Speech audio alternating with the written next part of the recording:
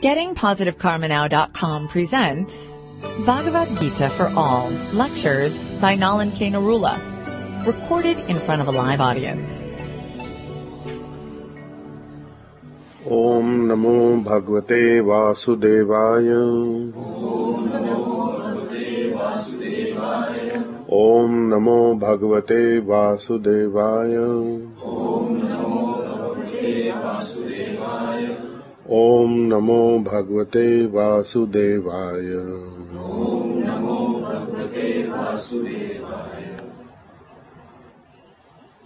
Last time we had completed the eight text chapter two of Bhagavad Gita and basically Arjun was saying that I am very aggrieved sorrowful because even if I win and get the kingdom and sovereignty of a kingdom on earth equivalent to that of the demigods, all my relatives are dead and gone, or many of them are dead and gone, uh, I would not be able to live. I would not be able to tolerate this benefit or it it would be as good as ashes because my family members are no more. And we have been fighting with them and we have killed them.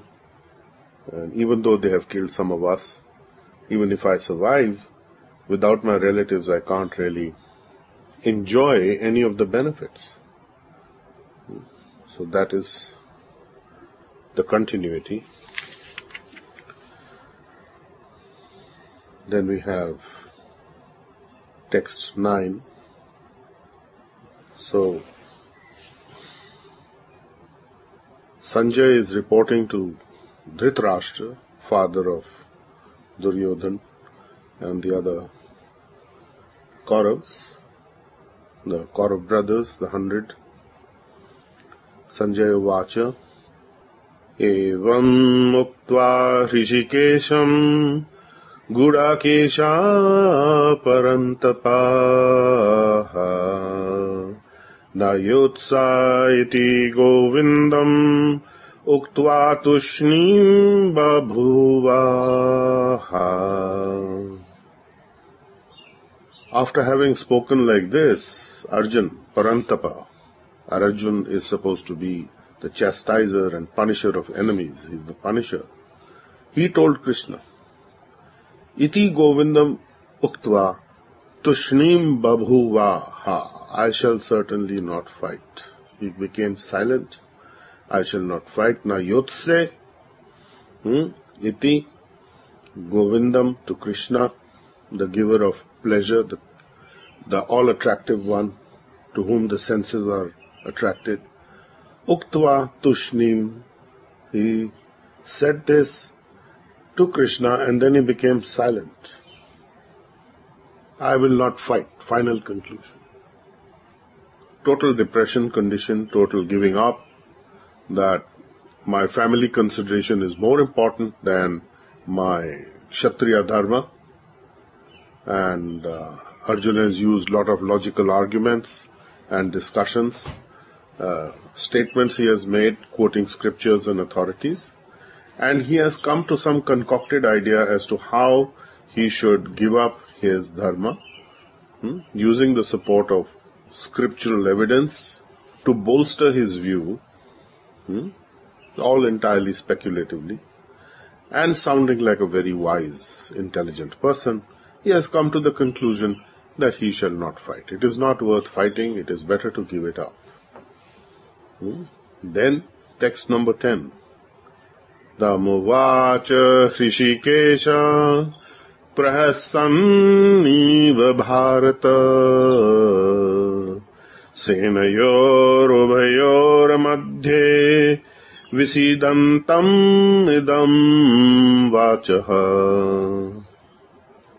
Tamu watch Hrishikesh at that time then to Arjun Hrishikesh the master of the senses Krishna प्रहसन इव with an expression on his face which was like smiling. It was not exactly smiling. like a smile, he addressed Vishidantam, the lamenting one, the following words. Now, what does it mean that Krishna was having an expression on his face like smiling? He was sarcastic. Why? Because here is Arjun using these speculative arguments, hmm? And he is talking as a very wise man, but he is actually talking nonsense like a person who is unintelligent. Hmm? So, at this point in time, even though Arjun is saying that I surrender to you, he is still maintaining a vestige of his uh, logic and intelligence and his conclusion. He is thinking that my conclusion is very good because I've used all these logics and uh, very heavy duty uh, reasonings. And so Krishna is smiling sarcastically to remove the last vestiges of Arjun's false ego and his ahankar and his pride in his conclusion to just demolish that aspect of his false ego. And this becomes clear when he speaks further. Krishna speaks to him. Text 11. Shri Bhagwan Uvach. अशोच्यान्नवश्चोचस्त्वाम् प्रज्ञावादंश्च भाषसे गतासून्नगतासून्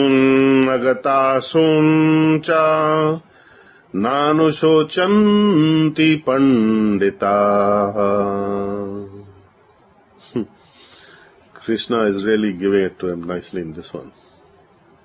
Sri Bhagavan Uvacha, he said, Asocyan anvasocya.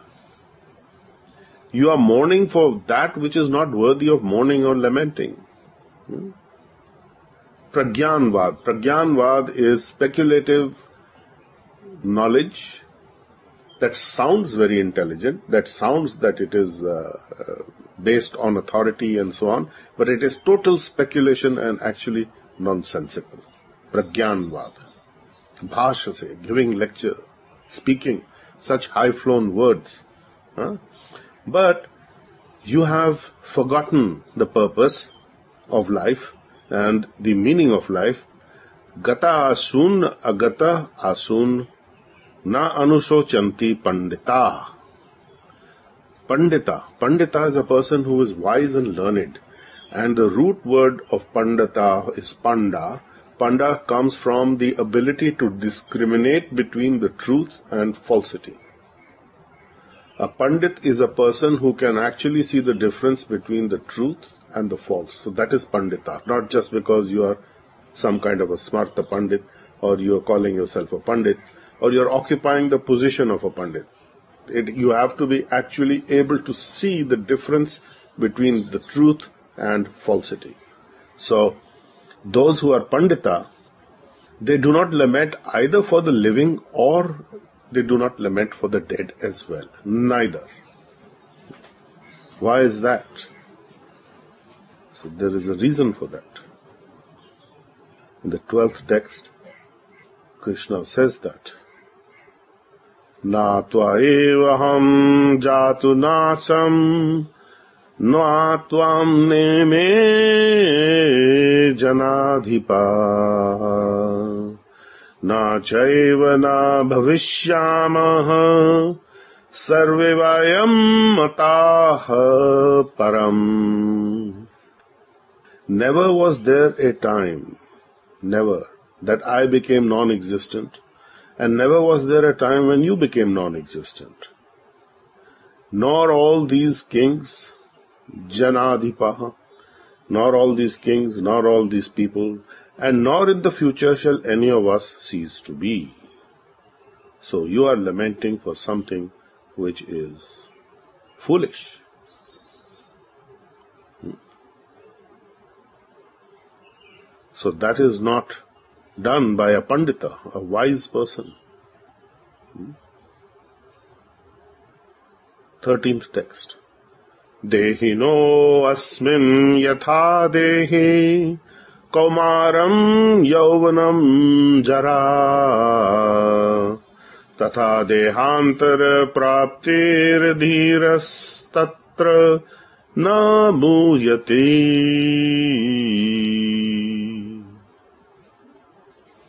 Dehino Asmin, just as in the body, the, in the embodiment form, from youthfulness, from boyhood, childhood, to youthfulness, to old age, there is the transference of the soul self in these different bodies. The dhira, the sober, the sensible, the balanced ones, the ones who can discriminate, therefore are never muhyate, never deluded, not in moh and maya. Hmm? Simply because they understand that as the soul which is embodied in this body, it travels from childhood to youth to old age, and it remains constant, the body is constantly changing, but you remain constant and it is eternal. That is the evidence. The scientific evidence is that you continue, your soul self continues, so it is foolish to lament for something like this. So Krishna is telling Arjun that while you are using these very fancy arguments, they are actually put in a concocted way. They are speculative, they are irrelevant simply because you are not being able to see the truth. And this is the reality that just as the embodied soul moves from in the same lifetime in changing bodies, uh, there is nothing to fear because the body is coming and going and eventually there is no evidence to show that the soul self terminates when the body is no longer serviceable. So you are not Pandita.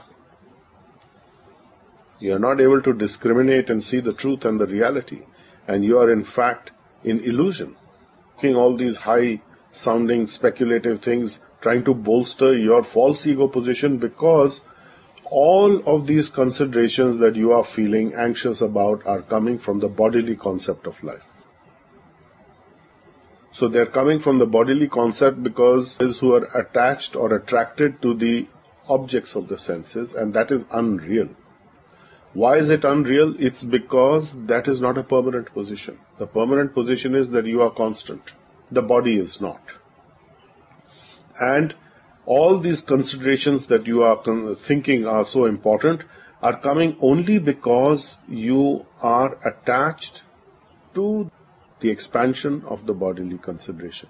Family, relatives, uh, coming through the senses. Now the senses are connected to the mind, which is connected through the senses, which is leading to the bodily concept of life.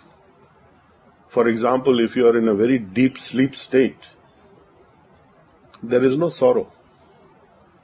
So it's not a constant state.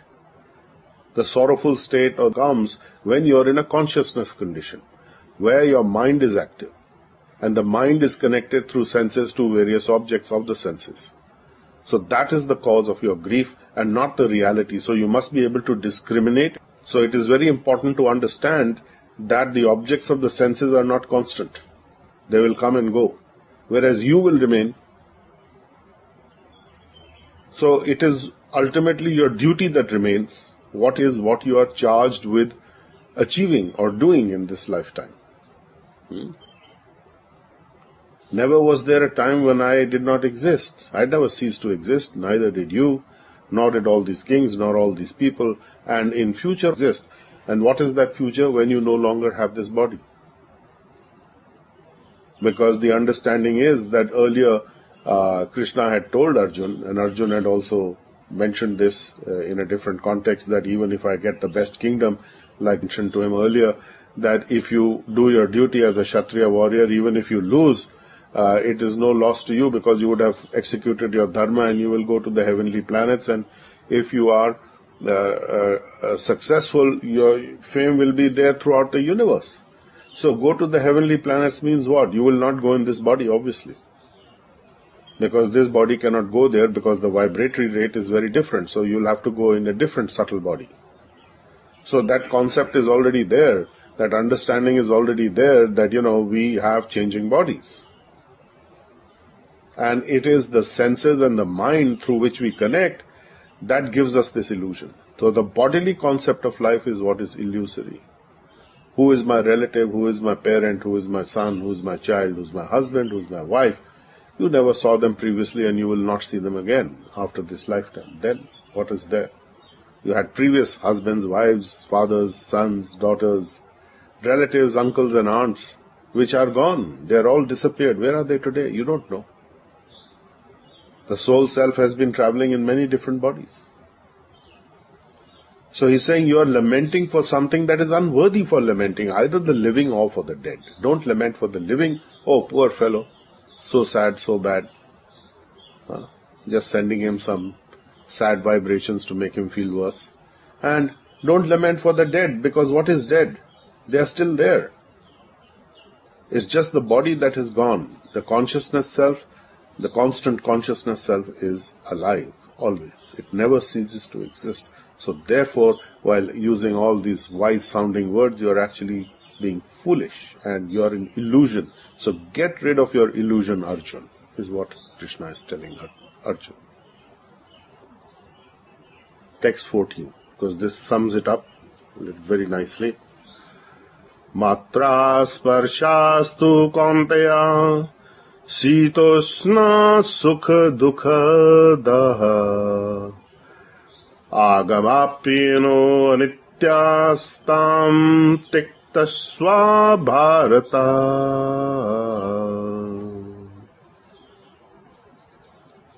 Matra Sparshas tu Kaunteya. It is the sense perception of winter, summer, happiness, unhappiness, hot and cold, that comes and goes and it is non-permanent. It is disappearing and they are changeable. So just try and tolerate this. Bharata, O descendant of the Bharat dynasty, after which our country is named also Bharatvarsh, great uh, king, Bharat, right, who followed the proper principles of the regulatory principles and the kingly principles of Vedic Dharma, leading people towards liberation, free from the illusion of the bodily concept. That was the whole country, the whole nation, at that time the whole world, because Bharat was one entire world uh, structure was there ruled by King Bharat, that it is taking the entire population away from this illusion. So he's reminding uh, Arjun that you have such a great history, you have such great forefathers and ancestors who did this.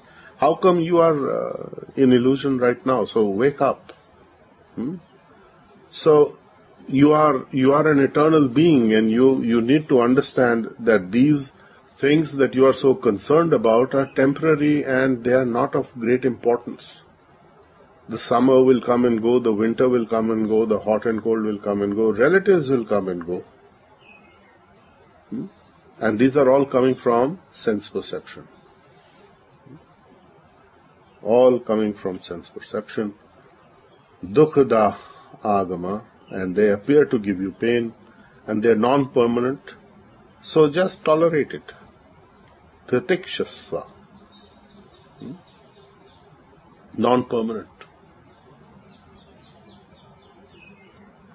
So, you have a great heritage, you have a great responsibility, do not give it up. Do not be deluded by the temporary manifestations of the bodily concept of life because without when the senses are not active as in deep sleep for example uh, there is no sense of unhappiness there is no sorrow. So it's non-permanent. Your real state is that when you're not in touch with the expansion of the senses. Yes, you have certain duties, but now you're trying to give up those duties in consideration for some limited, temporary, illusory, Maya type duties, illusory duties that you have concocted pragyanvad out of your speculative, apparently intelligent sounding talk, but it is foolish. So you are in ignorance and Krishna as spiritual master to whom Arjun has now surrendered, is beginning to remove ignorance and open his eyes to the truth so that he can be Pandita. Pandita means one who can discriminate between the truth and illusion and falsity. So we will pause here today at this text, number 14, chapter 2 of Bhagavad Gita. And if you have any questions, I shall answer them. Yes. Uh, so, uh, uh, whatever you're explaining, you, you refer to uh, the context where, you know, where Arjuna, it was, for Arjuna, it was just about his senses and he was being dragged down by the, you know, uh, whatever uh, lectures are there, okay, for, you know, spiritual enlightenment, though we know that, you know, uh, that's what is right, uh, we still go and do you know something uh, which is not right actually which we know that you know it's what we are doing is not correct which is not there you know as in the Bhagavad Gita or as taught by the masters. So why does it happen sir you know uh, oh, it is happening because of illusion because of pragyanvad because of attachment. Speculative understanding as to what is the correct thing to do. And it's not difficult to apply these rules. As I said, that you do have certain responsibilities and duties, but then if you are getting carried away uh, and taking on responsibilities and duties which are not yours, you are deeply in illusion. So it is up to you. It is a free choice. So if somebody is saying, yes, I surrender to this knowledge, I surrender to the guidance, I surrender to the spiritual master, and accept and acknowledge, but actually I'm not going to do it, that is not surrender. That means you've not understood. We are just giving lip service. We are trying to portray that yes, I am a very good boy, I am a very good person, but actually I'm not doing any of those things because I'm still attached to those things which are actually dragging me down and giving me the pain. And I'm saying, why am I in pain? And when you're told you don't want to uh, shift from that position because you are fixed on that. You're too much attached. So not enough healing is there, not enough understanding is coming, and not enough action is coming. So there has to be moderated action. Dheer, you have to be dheer, balanced, steady. So unsteadiness is destabilizing you from your path. So you have to be very steady on this path and have a clear cut understanding. What is my position vis-a-vis my relatives, my duties? I have relative duties in the sense that I have uh, an ascending scale of duties. Some are more important than others. What is it that I'm giving the importance to? Ultimately, the importance is to be given to the duty of your eternal soul. Because everything else is not eternal in order to be able to fulfill the duties of your eternal soul, you must be able to get rid of your karmic debts. And your karmic debts are not what you think they are, necessarily. Your karmic debts are different because you are assuming that this is my debt, I have to do it. It is a self-assumed responsibility or a liability, uh, which it may very well not be. And it is coming out of sentiment. Arjun was in the same position. How can I do this? How can I kill my relatives? How can I give up on them? Yes, you have to. There's no other way. They will not learn otherwise. Who will learn? You have the same problem in your own life. That, you know, if I don't do this for my relatives, uh, some great uh, disaster will befall them. I am the savior. Huh? False ego. I will kill myself, sacrifice myself for my relatives. False ego is Arjun's position. Your position is the same. We discussed this a couple of days ago. Exactly the same place you are in. Yes. So you, you cannot go and fall on your sword for others. Here's the sword, kill me. No. You have to preserve yourself. You have to preserve your path you have to preserve your spirituality. We are not saying do not support them, yes, but you cannot support them at the cost of your own progress in spiritual life.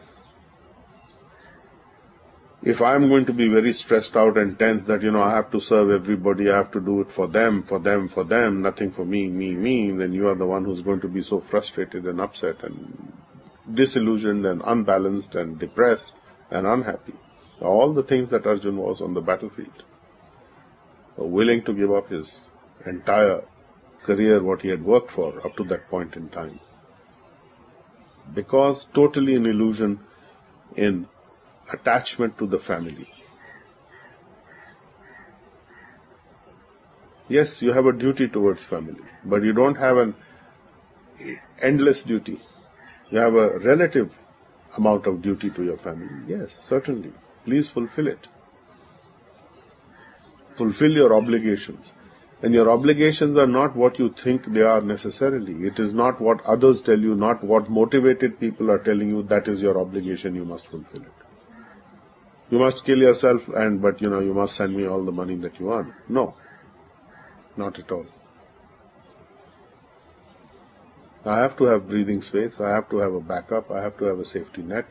So a little wise, discriminatory aspect. Yes, I will send. This is what I can send.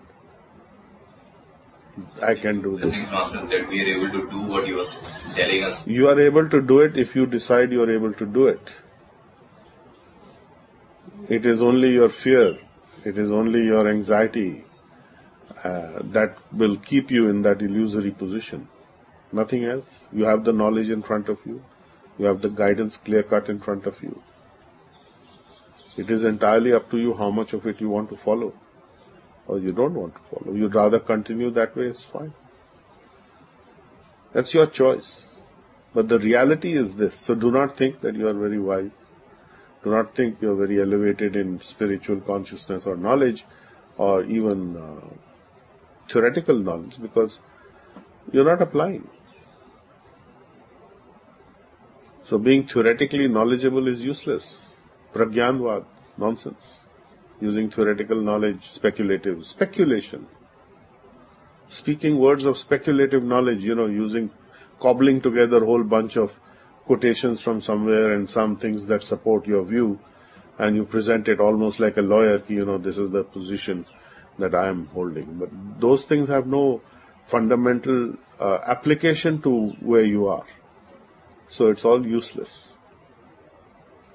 Where it doesn't apply to you, where, you know, these are just words, or these are statements taken out of context, taken out of the meaning, and the spirit is not there of those uh, teachings or those words, and you're using those, it's no good.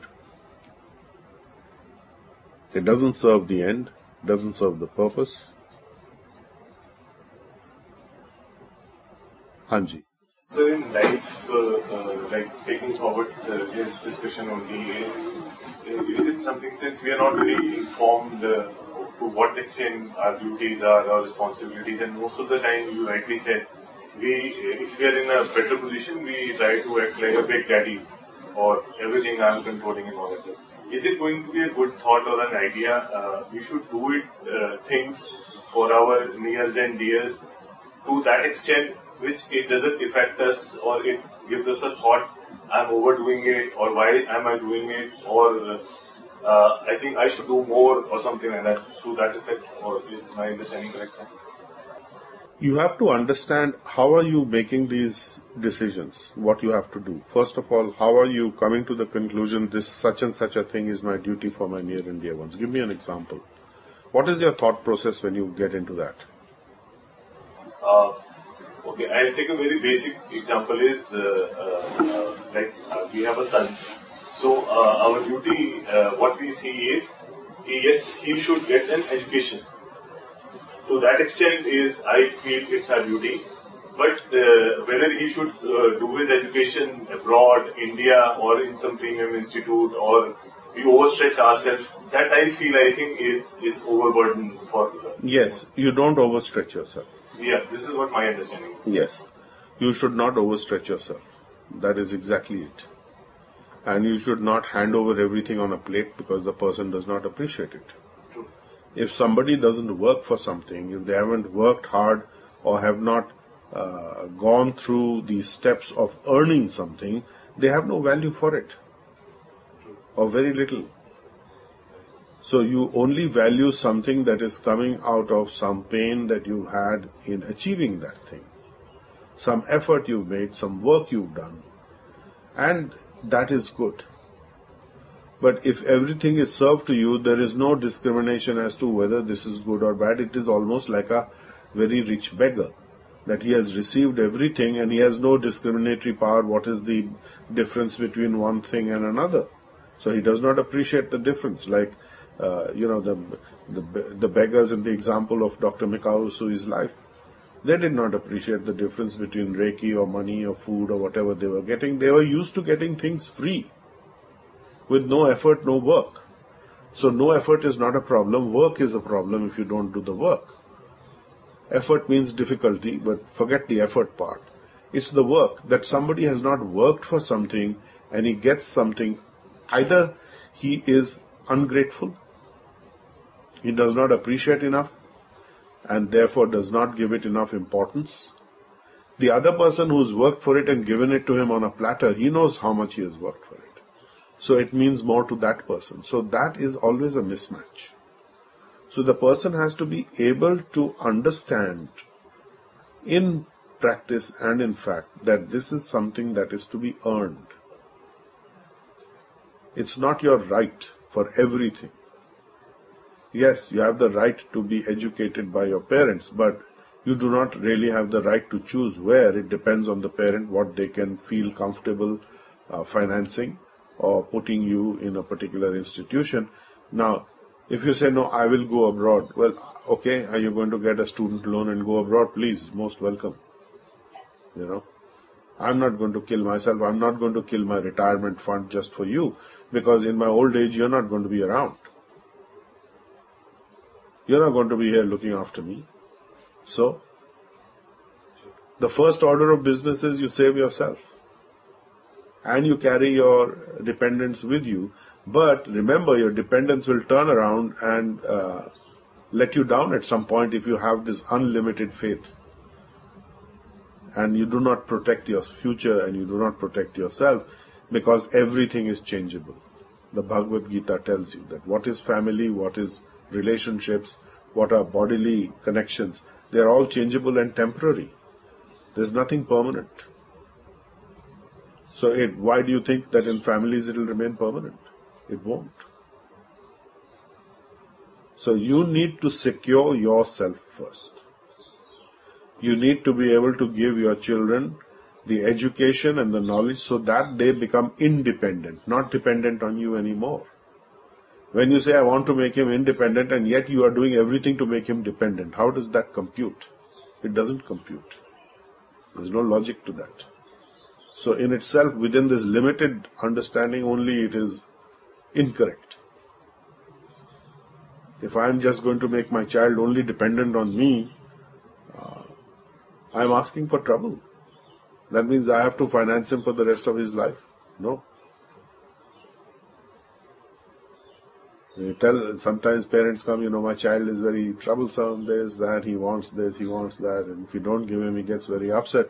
And I tell them, send them to boarding school. Oh no, how we can send? Because boarding school will straighten him out right there and then. Why? Because nobody is going to listen to his nonsense. They are going to ask for results and they're going to say, you better perform, otherwise you're out. So if you are convinced your child that, you know, he can suck your blood for the rest of his life, so to speak, then you are in serious trouble. You have to make them independent. Send them away from you. The system of Gurukul was that only. You send the child away at the age of five or ten. You send him to the school, boarding school, away from home, so that he toughens it out, you know, roughs it out, and he gets toughened. He understands what is the harsh reality of life, and he has an appreciation for what he gets. And that lesson, if it is given at an early age, is very important and never forgotten. So if you can find some institution or uh, place of learning like that, which is safe and is able to give the knowledge and the guidance and allow the child to develop his own talents because in his peer group, he is forced to, uh, you know, interact with people within his age group and their different talents and different capabilities. He will come to understand very quickly in this atmosphere where he is. He was thinking he's such a great guy. He's not such a great guy. I remember when I was in boarding school, we had all the sons of Maharajas in my class and in my school, and they all there. And we were a pampered lot because uh, in some of some of them, we had uh, the first term. There were, I think, 30 of us who went to a place called Holding House. We didn't go to our main house. We went to a transition place where we had servants to uh, serve us. The chaps would make our beds. They would give us tea. They would give us everything. They would do things for us. But that was, but it was still like partial, not entirely. You still had to do certain things. You probably had to make your bed. I'm trying to think. You did, but they could help you if you wanted it. Uh, but there was a little bit of help. So that was to slowly attune you to the fact that you got to do everything for yourself. And then the next term you went to the main house. And boy, you did everything yourself. You did, the only thing you didn't do was laundry. You had a laundry service and you gave your laundry to them and they did your laundry and uh, gave it back to you. But everything else, you make your bed. Sweeping also was not your job unless you mess up, then you clean it up, clean up the mess. But everything, you make your bed, you polish your shoes, you're responsible for your bath, you're responsible for how you look, uh, your clothes, your responsibility. There are no servants. So you get independent. Okay, I can do this also. What's the big deal? You'll find many children, they can't even make a cup of tea. They don't know how. I know women who don't know how to make a cup of tea. what to speak of children? They'll burn the water while boiling it. I had one lady tell me that, you know, even even the tea I can't make, I, I burn the water when I boil it. so, what I'm saying is that you need to have basic life skills. And it is better you learn at an early age these life skills.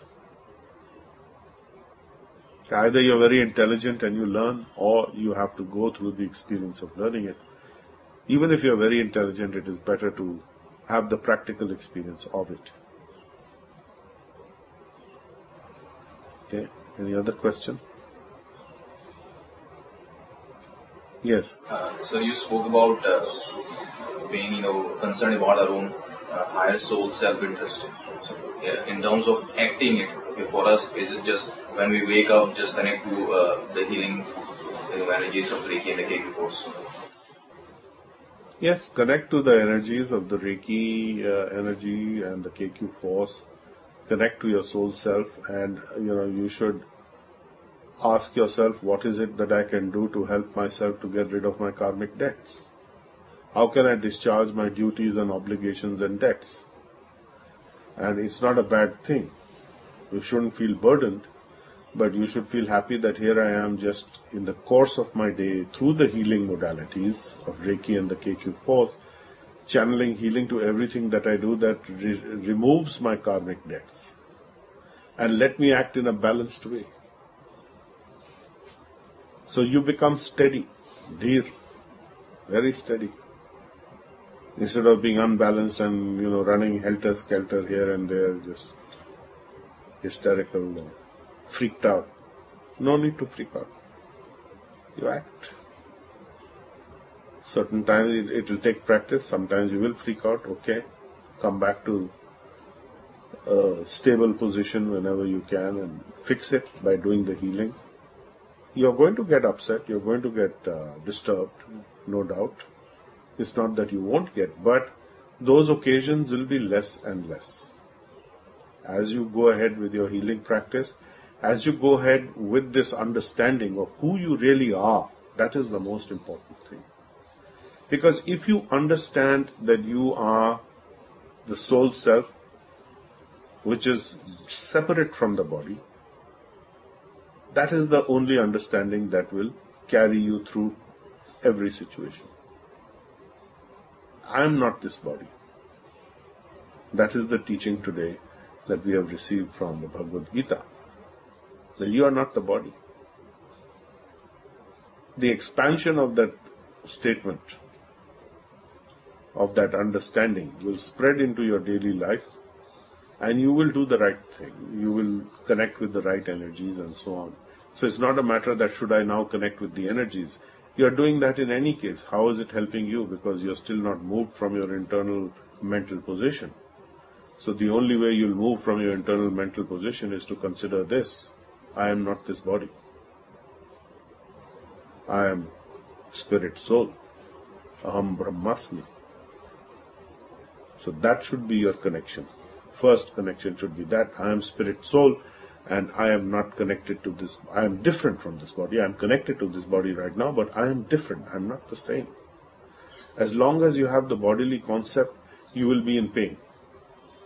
So all pain, again, as Krishna has explained here, is coming from the bodily concept of life. So if you step away from your investing in the bodily concept of life, don't invest in it you will be that much pain free. Maintain your body because it is important vehicle for you to achieve your goals.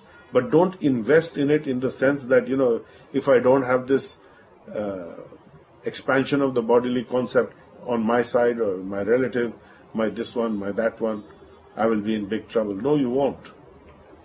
Relatives will come and go, friends will come and go, everything will come and go, your body will come and go. It's been coming and going. Every day your body is changing you are going through many different bodies in your life. So, you're not having the same body when you were very young. When little child is there, baby is there, very cute. That cute thing becomes a big monster later on, you know, ugly character. That, what? What happened to cute? Hmm? No more cute. Whereas the soul is constant. So that's what you should pay attention to. Do not neglect your duties because see, you're here because of indebtedness. And your body is helping you to get rid of your debts, but do not get entangled in the expansions of the bodily concept of life. Do not get entangled in the sense objects because that is what gives you pain and unhappiness. So Arjun had the same pain and unhappiness because he was entangled in the bodily concept of life. The expansions of the body, my relatives, oh, what will I do with I I cannot live without them. I would rather die. Hey? What is this nonsense? Krishna is saying.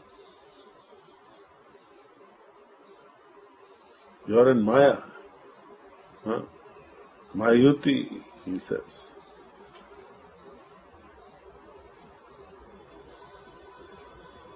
Okay. Yes, last question. Uh, when we are living our lives, you know, keeping our self-interest, you know, everything, we have certain, you know, principles to follow. And the main four principles according to the Sanatana Dharma, like uh, no alcoholism, no uh, meat eating, uh, married life, and no gambling. So if these are not followed, okay, for us as healers, so you will you will come to that point eventually, and even if you don't come to that point, it is not a deal breaker. Why? Because you're not following that path. You're not following the technical Brahminical path. You understand? Because if you follow that prematurely, artificially, it will do a lot of damage. When you do your healing and you have some sensibility, you can stop certain things which you know are not good for you. You know that they are harmful for you. You have the knowledge base, but if you still have the desire, that sets up a conflict within you. Let's say you have a desire for meat eating and you are forcing yourself not to eat meat. You will always be thinking about that what you don't have. So your focus is constant. If you have a desire for sexual activity and you're forcing yourself to be celibate, I have seen people who have gone on this path and they've actually lost their mind, they've lost their balance completely. Frustrated. because artificially done at too early an age, at too young an age. So these are relative. You are not following that specific path, so you, you do not need to uh, overly concern yourself with that. But those principles are valid. It's when you can follow it. So life, as you do your healing, life will put you in a position and your body where you are going to follow it. For example, when you do your healing, we find two of the things that disappear from healers first is alcohol and meat eating instantly. I mean, very, very fast. The healer sitting there, your own life, I don't know. How many of you have experienced that? That you can't just have it, you just feel unwell when you have it. Right? So your body is, is rejecting those things. And maybe even uh, uh, illicit sexual activity also comes down or disappears.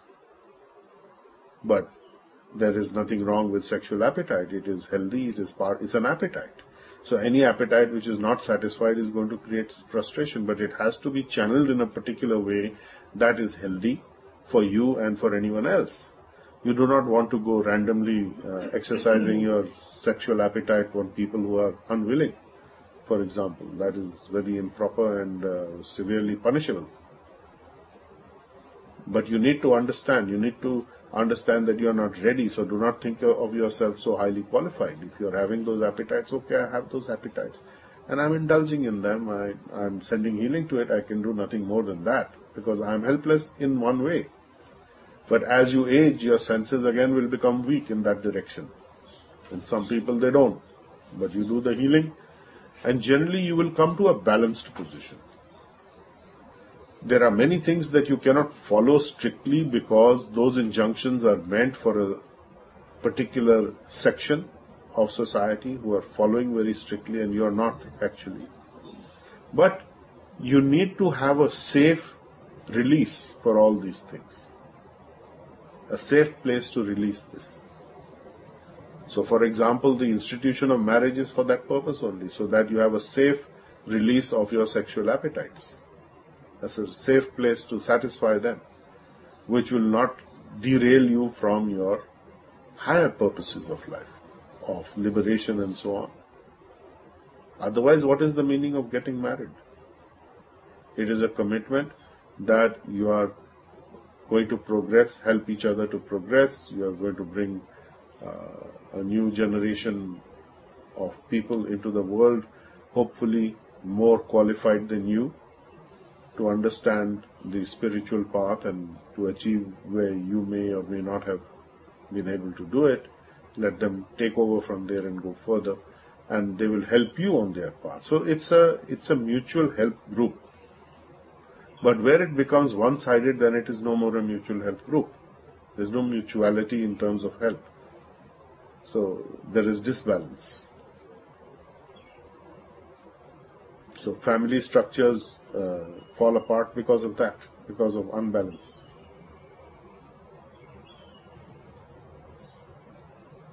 Expectations not met, overly burdening some family members.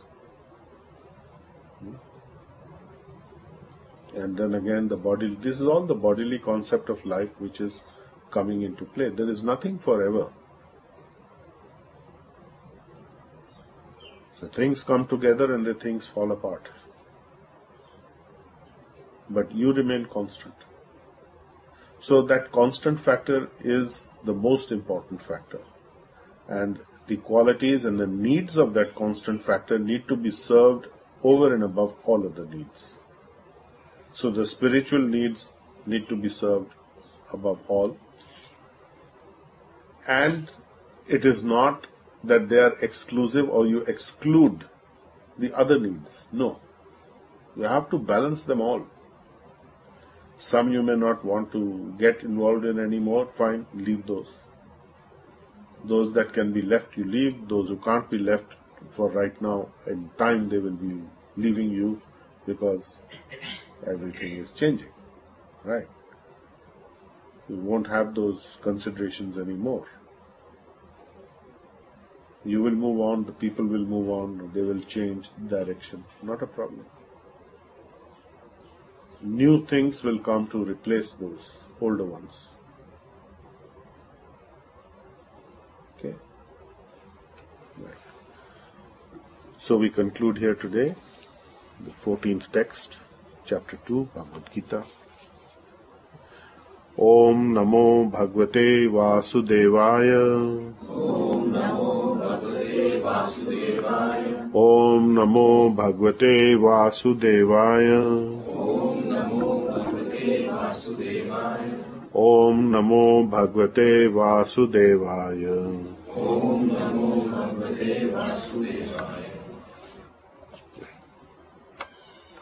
Okay, thank you for coming. And we'll, next week is the Shara. Hmm? 22nd. Today is 16th. Thursday. Thursday Thursday is Dussehra. So Thursday evening we will not be having the Thursday healing assembly. So inform those who are not here today who are coming that next Thursday uh, they should follow whatever they follow in the Dussehra celebrations at their own home and their own family. And it's important to celebrate this with people who are your family or close to you rather than going here and there. And even in Diwali, for example, because those energies you need uh, staying with you rather than distributing them at third person's places. So it's good you focus on keeping the energies in your own home environment, wherever your home is, wherever you stay. Better. Okay? Thank you. There is some prasadam downstairs. So how many people are fasting? There is some fasting prasadam and then there is lots of non-fasting prasadam also. You've been listening to Bhagavad Gita for All, a lecture series by Nalin K. Explore our website, gettingpositivekarmanow.com, for more on how to change your karma and destiny.